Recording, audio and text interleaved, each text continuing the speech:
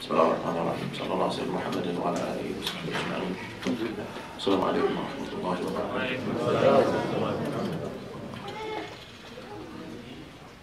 Uh, Allah subhanahu wa ta'ala um, has blessed this gathering. Indeed, we have in our midst um, our teacher, Sheikh Yahya.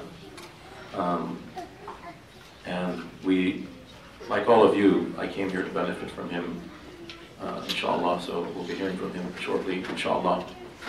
Just to let you know, Ustad Yahya, from a very young age after he became Muslim, uh, he went and sought out uh, the lovers of Allah subhanahu wa ta'ala.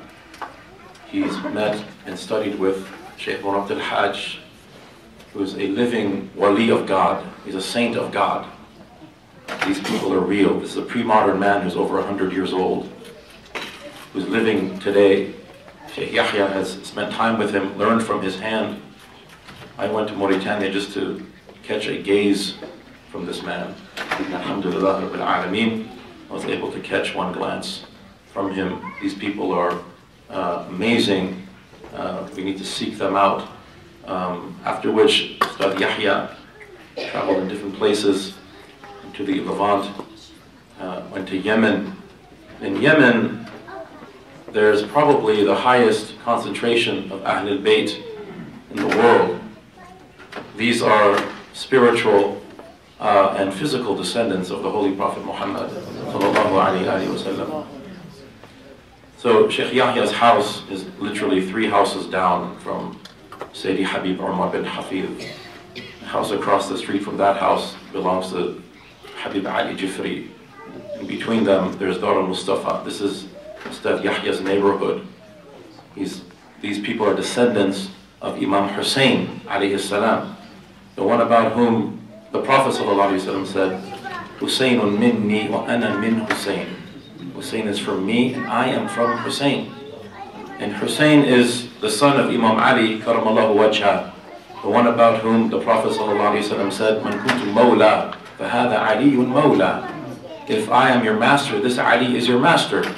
And Imam Ali is the husband of Fatima az-Zahra alayhi salam, the one about whom the Prophet ﷺ said, فاطمة بدعة مني فمن أغضبها فقد أغضبني ومن أغضبني فقد أغضب الله أو كما قال عليه الصلاة والسلام that Fatima is a piece of my flesh whoever makes her angry has made me angry whoever makes me angry has made Allah subhanahu wa ta'ala angry and Fatima of course is the daughter of the one about whom Allah subhanahu wa ta'ala said to him directly, وَمَا أَرْسَلْنَاكَ إِلَّا رَحْمَةً لِلْعَالَمِينَ We did not send thee as, except as a mercy to all the worlds.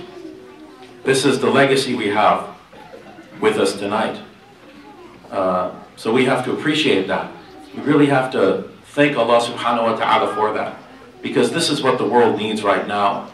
The world needs rahmah. I was at a junior college a few months ago and I gave this talk, kind of academic talk, and uh, the lecture was entitled uh, The True Islam Revealed, not my choice of title, um, but that's what they wanted to call it, no pressure. Uh, so after about an hour and a half or so of going back and forth with the audience, I noticed there was this man in the audience who seemed to have a visceral reaction to almost everything I was saying. Like he was bothered by it. And at one point, he actually got up like he was going to storm out. And then, I don't know, somebody came and talked to him. He came and he sat back down. I'm thinking to myself, what exactly am I saying here? Right? What am I saying wrong? I mean, I don't know what's going on. It seemed like most people were enjoying the talk. Anyway, so then after the talk, we had kind of sat up on the stage. We shared some halal KFC. Um, and this brother was there. He's a non-Muslim guy. And uh, we're talking just kind of casually, and somebody asked me a question about the mercy of Allah subhanahu wa ta'ala. I said, yeah, you should never despair of the mercy of Allah. So I've been passing. I look over to this man and he is in tears. He's in tears.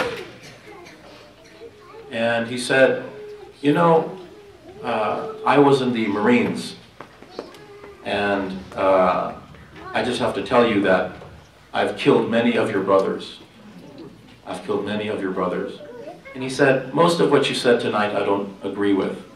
But when you quoted, when you said that last thing, just in casual conversation, لا تخنتوا من رحمة الله. Do not, do not despair of the mercy of Allah subhanahu wa ta'ala. He said, I lost it and I started to weep. And at that point, I froze. But alhamdulillah, there was a young brother in the MSA, 19, 20 years old, who said to him, You're our brother. He said, I've killed many of your brothers. He said, You're our brother. Right? And that's the attitude we need to have with people. This is the attitude of the best of creation, sallallahu alayhi wa wasallam. This type of mercy that is uh, unfathomable. Uh, Allah subhanahu wa ta'ala said in the verse, وَمَا إِلَّا رَحْمَةً We did not send you except. So this is an ithbat ba'da nafi. We have an affirmation after a negation. This is very strong emphasis in the Arabic language. We did not send you except as a rahmatan. And this is indefinite. It's indefinite, meaning that the mercy of the Prophet وسلم, is beyond our comprehension. It's beyond our comprehension. We cannot even fathom his mercy. He's the greatest manifestation of Allah's mercy.